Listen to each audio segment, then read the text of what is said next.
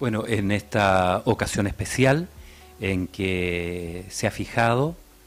y se ha decretado como el día, el día del alumno, creo que es una oportunidad, una instancia de alta relevancia.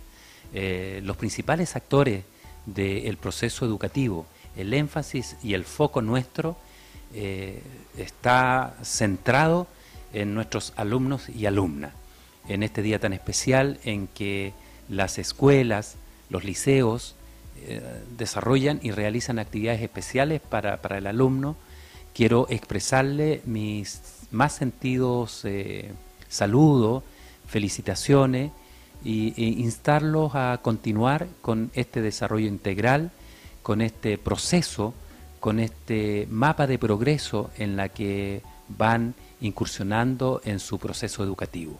Nuestro abrazo, nuestras felicitaciones y desearle eh, que este día sea de mucha felicidad, de mucha alegría y de mucho amor, porque cuando se pone el amor, la pasión en los procesos educativos y en la formación, los resultados y nuestra formación integral es mucho más intensa y mucho más potente que aquella que no tiene estos incentivos. Mi abrazo, felicidades y que la pasen muy bien en este día.